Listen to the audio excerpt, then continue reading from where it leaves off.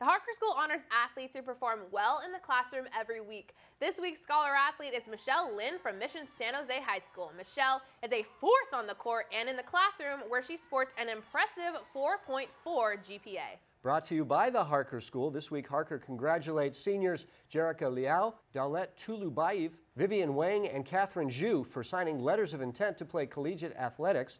Jerica will go to Northwestern for fencing. Daulette will play golf at Stanford. Vivian will become a Tiger and swim for Princeton. And Catherine will join the Golden Bear golf team at Cal Berkeley. At Harker, preschool through 12th grade students discover their passions. Learn more at harker.org.